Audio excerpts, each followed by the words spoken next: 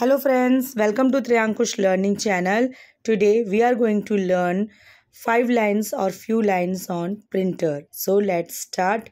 Printer is an important output device.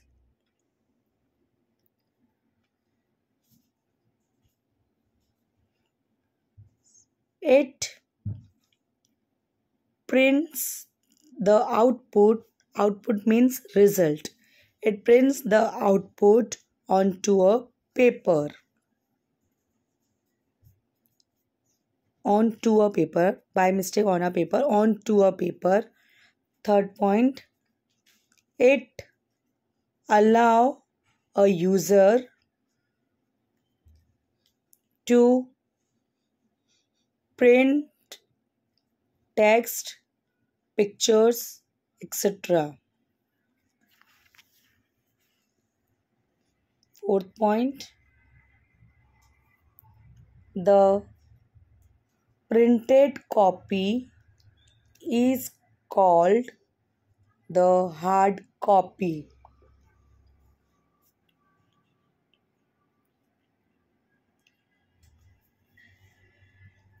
A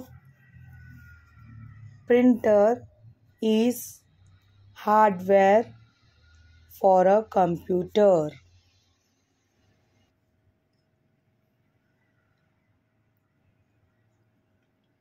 The most commonly used printers are dot matrix,